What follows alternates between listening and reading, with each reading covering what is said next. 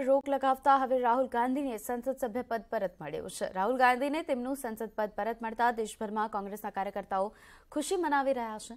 ફરી એક વખત રાહુલ ગાંધી સંસદમાં લોકોના પ્રશ્નોને વાચા આપશે.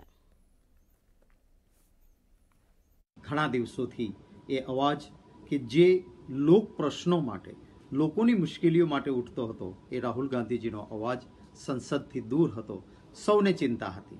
નામદાર સુપ્રીમ કોર્ટે ન્યાય કર્યો અને હવે જ્યારે નામદાર સુપ્રીમ કોર્ટના ન્યાય પછી એમની સદસ્યતાને કોઈ રોકી શકે એવી સ્થિતિ નથી.